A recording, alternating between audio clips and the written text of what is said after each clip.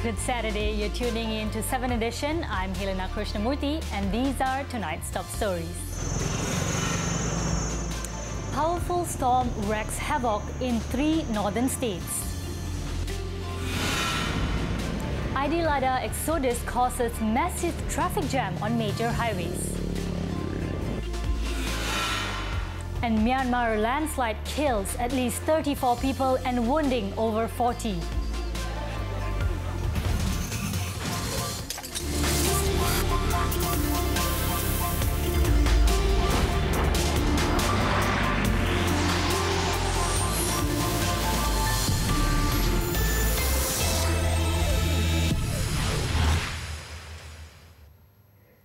We begin tonight's bulletin with this story. Heavy rains and strong winds pummeled the northern states of Kedah, Perlis and Penang last night, ruining the Hari Raya Aidiladha celebration for many families. There was one fatality in Kedah while over a dozen people were injured in that incident that started at 8 p.m. and continued until 2 a.m. this morning. Perlis also was hit by another round of strong winds later today, causing more damages. The storm also uprooted hundreds of trees and caused power outages, as well as damages to homes, schools and other buildings at numerous locations. According to Tenaga Nasional Berhad, TNB, a total of 1,595 reports were lodged on the electricity disruptions all over the three states and it has so far resolved at least 650 of the complaints. All relevant agencies are currently focusing on cleanup works. In Kedah, at least 10 people were injured in the storm which left widespread damage including in Langkawi. Over 20 areas on the island were affected, while the rest of the state saw over 560 homes in 11 districts damaged by the storm. In Penang, seven people were treated at the Seberang Jaya Hospital and Penang Hospital for injuries sustained during the storm. The victims, who are residents and traders, were hit after their roofs and stalls were blown off by winds. Multiple fallen trees and property damage were also reported in several areas in Georgetown, Seberang Perai and Balik Pulau. Three evacuation centers have been opened to house 71 people after their homes were wrecked by the storm and strong winds. Many houses and business premises were also affected by the storm in Perlis. Fallen trees and electricity poles had also caused traffic obstruction and road accidents, but no loss of life or injuries were reported. The Malaysian Meteorological Department or Met Malaysia said it was caused by Typhoon Lekima that is currently battering China and it had stretched into southern Thailand last night. Wind speeds that was recorded was at about 100 kilometers per hour. Met Malaysia also said the worst is over and there would be not a second wave caused by Typhoon Lekima. However, thunderstorms are expected in Kelantan, Terengganu, Sandakan, as well as the west coast and interior of Sabah this evening. Some rural areas in Perak and Perlis were also likely to be affected.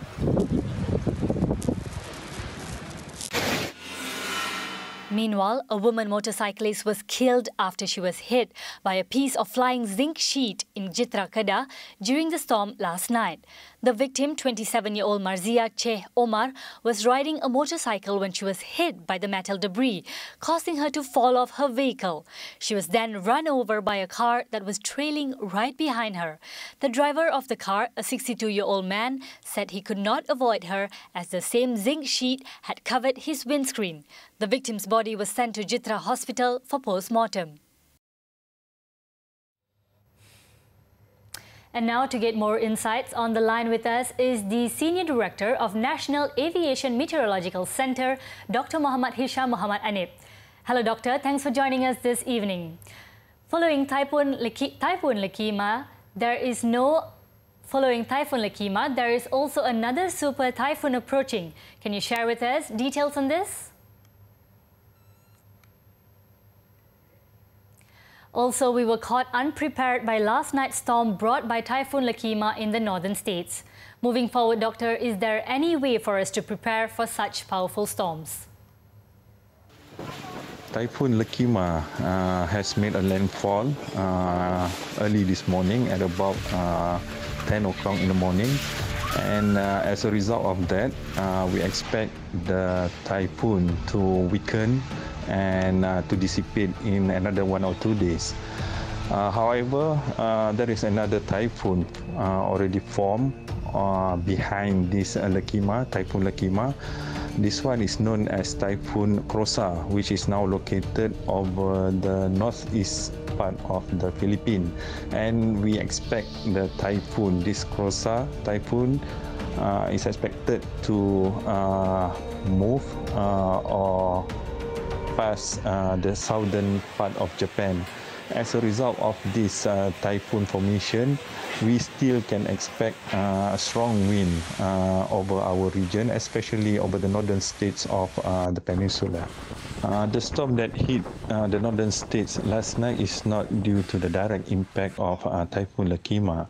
Actually, we can see that it is an indirect impact due to the strong wind that comes from the uh, uh, Indian Ocean that converge with the wind or from the southern part uh, of the uh, Strait of Malacca.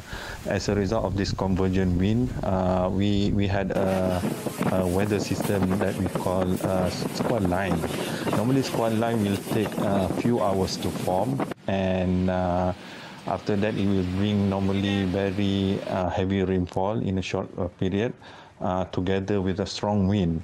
The, the event that, that formed last night over northern states, uh, some of our stations has recorded uh, more than 100 kilometer uh, per hour of wind, strong wind. And this definitely uh, can cause uh, damage to a very weak structure uh, and also uh, for the branches, tree branches, as well as a very old tree that can fall. Uh, so we do expect this uh, type of event to happen another one or two days, maybe uh, during the afternoon or early night. Uh, and we hope that the public can uh, be a little bit aware of the weather phenomena that uh, take place uh, over your area. Thank you. Now, thank you very much, Dr. Hisham, for your time and insights. Moving on, the haze situation is currently deteriorating in Sarawak and Selangor with Miri reaching the hazardous level, while Klang recorded unhealthy readings. As of 7 p.m. today, the monitoring station at Miri Industrial Training Institute displayed an API reading of 390, which denotes hazardous since 2 a.m. today. Kuala Baram, another location in the state, also saw unhealthy air quality since 6 a.m. This is according to the Department of Envir Environment, DOE, which has 68 monitoring stations nationwide. Meanwhile, in Klang, the DOE also recorded poor air quality. Its monitoring station at Johan Setia showed an API of 114, which is also unhealthy. Other areas in Klang Valley are seeing moderate air quality. The haze, is, the haze situation is due to forest fires in Indonesia.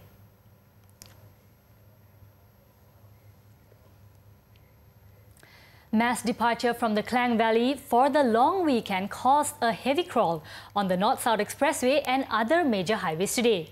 Live traffic updates from Google Maps showed major roads with heavy traffic the whole day. Take a look. In the south of the Klang Valley, traffic was backed up from Nilai up to Seremban as people headed south. Major roads and highways such as the Duke, Jalan Gombak and the MRR2 was also clogged with slow-moving traffic as residents made their way to the east coast through the Gombak toll. The jam continued after the Gombak toll on the Karak Highway as there was heavy traffic near Genting Sempah and Bentong. Those travelling on the North-South Expressway to the north was also stuck in heavy traffic from Sungai Buloh up to Gopeng Perak. This as we enjoy a long weekend in celebration for Hari Raya Haji, which saw many taking the opportunity to escape the city. Now it's day seven of the search for Nora Anne Quoirin, a 15-year-old who mysteriously disappeared at a resort in Pantai Seremban. There are still no signs of the missing Irish girl despite a massive search mounted for her in the surrounding jungles. Her family for the first time appeared in public to thank all those involved in the search and rescue mission. Her husband, Sebastian Marie Philippe, was with her when she made the emotional speech early this morning. We want to say thank you to each and every one of you We know you're searching night and day for Nora. We see you working so hard and uh, also praying with us, being with us. We know you have given up your time, especially at a special festival time, uh, to be with us here. It means the world to us, and we are so grateful for everything that you are doing for us, everyone here, and everyone who is helping who is not here. We are um, extremely impressed with uh, the effort, your expertise, your dedication, and we we hope you find Nora. And thank you so much, Karamakasi. Search operations are ongoing every day from 7 a.m. to 4 p.m. with various agencies involved. Today's personnel strength is at 261 and now includes the elite Police Jungle Commando Unit VAT 69. Three Senoi Praaq units, comprising Orang Asli police personnel, are also on ground tracking her whereabouts. Other assets include helicopters that have been circling the thick jungles looking for any signs of the girl. Nora, who has learning disabilities, arrived here with her family from London on Saturday for a two-week holiday. The teenager was first reported missing the following day at 8 a.m. when the window in her bedroom was left open. Police have busted a cigarette distribution syndicate believed to be active in the peninsula and seized cartons of smuggled cigarettes worth 4.2 million ringgit in a raid in Mersing, Johor yesterday. Bukit Aman Internal Security and Public Order Department Director Datuk Sri Acryl Sani Abdullah Sani said five men were nabbed during the operation. According to Datuk Seri Acryl Sani, in a statement today acting on public tip-off, an operation dubbed Op Asap was carried out by a Special Operations Command team. Police then recovered 25,750 cartons of U2 brand cigarettes. Cops also seized an Isuzu lorry as well as a Proton Wira car. He added the suspects detained are aged between 23 to 37 years old. All of them have been remanded for three days at the Mersing Police Headquarters to facilitate investigations under the Customs Act. Meanwhile, a food delivery rider was injured after he fought off two men who tried to steal his motorcycle in Petaling Jaya, Selangor. The two suspects stopped the victim claiming that he was riding a stolen bike and tried to ride away with it. A CCTV camera captured the incident at 2.50 pm and the footage went viral online. Police are now hunting for both suspects. In Johor Bahru, a senior citizen died in a fire that engulfed a 24-hour car wash at Jalan Yahya Awal early this morning. It was understood that the 70-year-old man was trapped in the premise when it was engulfed in flames. 17 firemen with four fire engines rushed to the scene to put out the fire. However, 90% of the building was already destroyed by the blaze, believed to have been caused by a short circuit.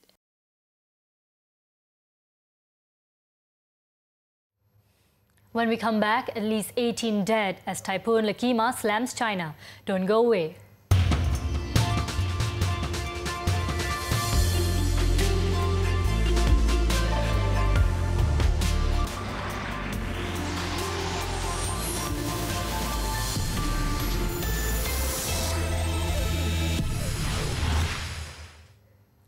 Back with foreign news. At least 34 people were killed when a landslide triggered by monsoon rains struck a village in eastern Myanmar. 47 others were left injured while authorities believe up to 100 more feared missing. Footage showed a huge brown gash on the hillside which marked where the deluge of mud descended on Friday, wiping out 16 homes. Search and rescue teams worked through the night with excavators as well as their bare hands trying to find survivors and recover bodies from the deep sludge. The village's, hill, the village's hillside temple was left inundated, leaving the pagoda's golden spire peeking out from beneath the mud. Torrential downpours have burst riverbanks across the country, while coastal communities have been warned of higher tides.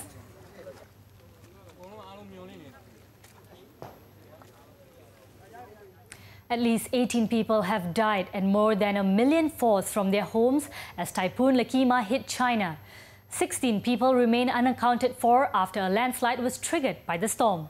Lekima made landfall in the early hours of Saturday in Wenling between Taiwan and China's financial capital, Shanghai, bringing torrential rain as well as heavy winds. The monster storm was initially designated a super typhoon, but weakened slightly before landfall when it still had winds of 187 kilometers per hour.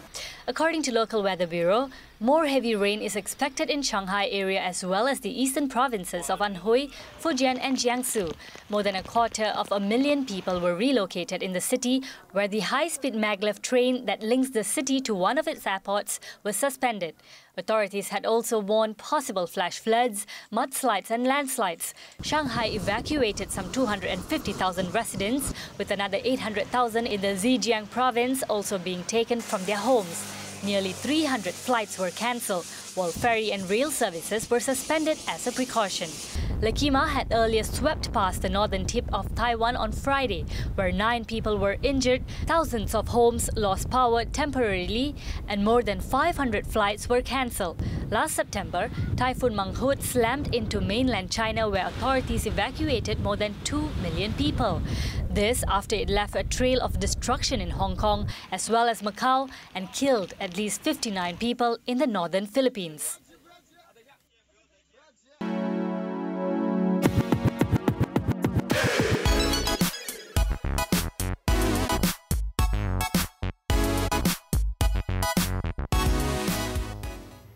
It's time for our daily segment Clickbait, where we take a look at what's trending and making rounds in the cyber world today.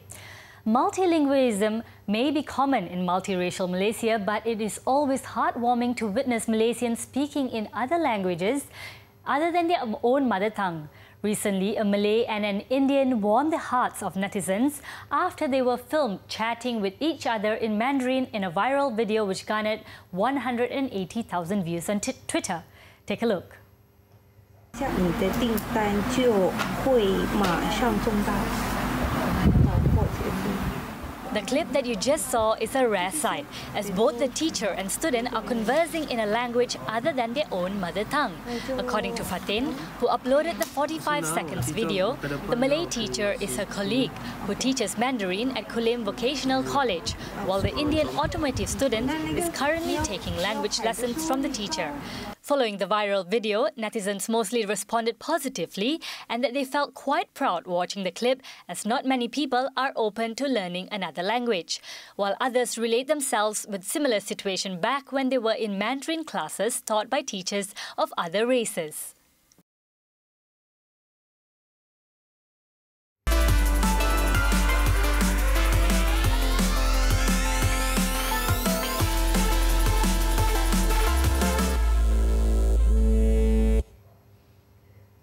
Ultraman fans can rejoice as Tsuburaya Productions TPC, the company behind over 50 Ultra series, will be producing new animated and live action shows. This after they finally secured the intellectual property for Ultraman through lengthy court battles in the US. Our trainee reporter Nur Fatima Zahra Ahmad has the details.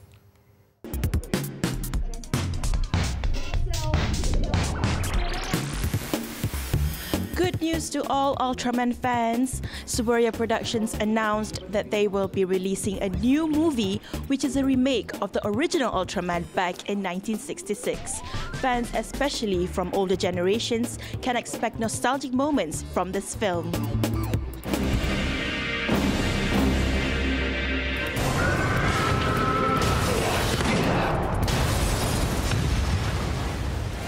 The Shin Ultraman remake is expected to reunite Hideaki Anno and Shinji Higuchi to direct the live-action film and will be released in 2021. According to TPC, they also have exciting plans for the next three years, starting with Ultraman Taiga, the son of the legendary hero Ultraman Taro. Ultraman Taiga will have its own brand new series that will be available worldwide in 2020. TPC will also launch an online series called Ultra Galaxy Fight, which will be streaming on their official YouTube channel starting September 29.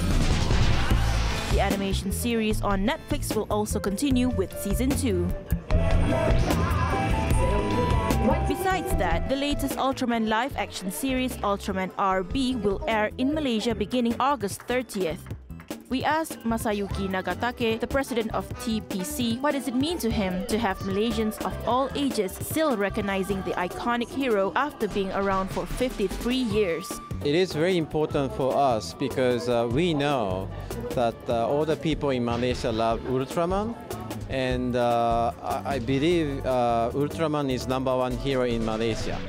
So uh, you know, it is very important for us that people love Ultraman, and we want to keep bringing a new Ultraman in Malaysia. Um, because there is authentic in stories uh, we talk about bravery, hope, and compassion, and and uh, we keep a new new stories every year, so we keep it fresh. As you saw, uh, we have been done uh, awarded from. Um, um, that we have more spin-off stories. So uh, number of stories is really key, and the quality of the um, you know episodes that we develop is the key.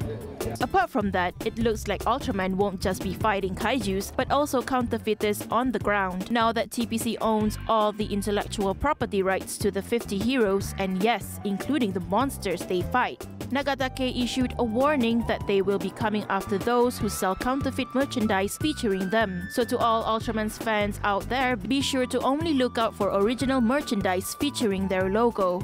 I'm Nur Fatima Zara Ahmad reporting for 7 Edition.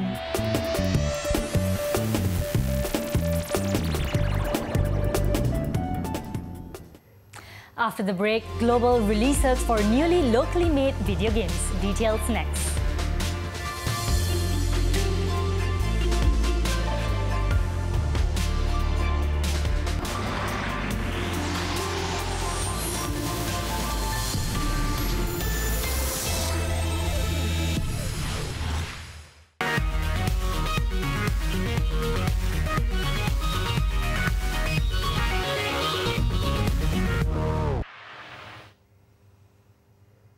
Thanks for staying with us. Now on to My Game On for the latest updates on gaming and esports. Media Prima Digital MPD collaborating with IGN Southeast Asia will be the official media partners for MDEC's upcoming Level Up KL 2019.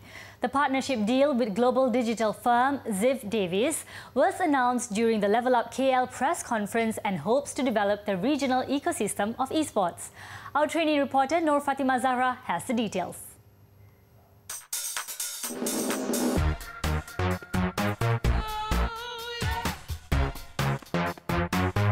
IGN is a familiar name in the gaming and entertainment industry, available in 30 international editions, 26 languages, and 115 countries, reaching a global audience of 196 million users across web, video, and social platforms. IGN is also one of the most internationally developed media brands in the world, not just in entertainment, but in any category. At Level Up KL, MPD struck a deal with the iconic company, hoping to further expand expand its reach regionally while also increasing the growth in its digital revenue. So Level Up uh, KL 2019 is a consumer uh, uh, game event. It's uh, organized by MDEC and uh, IGN Southeast Asia and My Game On, which is a Media Prima digital uh, game content platform, will be the um, uh, official media partner for, for the event. Uh, and at Media Prima, we are very supportive about what the government wants to do uh, for for games and esports in general. And this is where we are, why we're supporting the initiative, because we want to be able to bring up the content. As for the interactive media head MDEC, Mohan Low, he hopes that the event can educate the public about various career opportunities in esports by having career zones for university students in the next event. Uh, Level Up KL is the celebration, right? Uh, it's a game festival celebrating all the Malaysian games industry uh, we are hoping to see you know great uh, products coming out from here, great esports tournaments, and in general, celebration right with the fans of the of the industry. Media such as uh, IGN and My Game On is important right to highlight uh, the successes that the industry has had to make Malaysians realize right that the great work and talent that is available right in the Malaysian industry.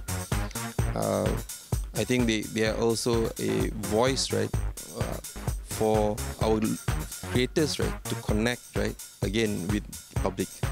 According to him, in Malaysia, game revenue growth has picked up from 2016 to 2017 by 3.2%, reaching a staggering 587 million US dollars. He hopes that the local esports and gaming industry can grow rapidly, as well as put Malaysia's digital content and creative tech industry on the global map. MDEC has also been working closely with local video game developers Metronomik and Magnus. They revealed two exciting and unique new games that will be available to the public soon. Não! For my music will ripple to the rims of the universe and back. Metronomik's debut game called No Straight Roads was set up by Wan Hazmer and puts music and sound at the heart of the gameplay. What's cool about the game is that it has Malaysian voice actors as well as music from our local scene. This game will be released globally on PlayStation 4 and on PC in early 2020. Meanwhile, the second game, Relegend, will be released this August 30th globally through Steam. The game by Magnus features farming, crafting weapons, and even catching your own magical monsters and even evolving them. Relegend also features various Malaysian cultural icons such as the rafflesia, hibiscus, the moonkite, or popularly known as Wau Bulan, and even nasi lemak. Nur Fatima Zara Ahmad for 7 Edition. Tomorrow, we celebrate the second of two most important Muslim holidays in the Islamic calendar, which is also known as the Festival of Sacrifice. On behalf of the team, we would like to wish our Muslim viewers a very blessed celebration with your loved ones and make sure to stay safe on the road. I'm Helena Krishnamurthy. Thanks for tuning in to 7 Edition and see you next time. Selamat Hari Raya Aidil Adha. إله إلا الله والله أكبر. الله أكبر ولله الحمد. الله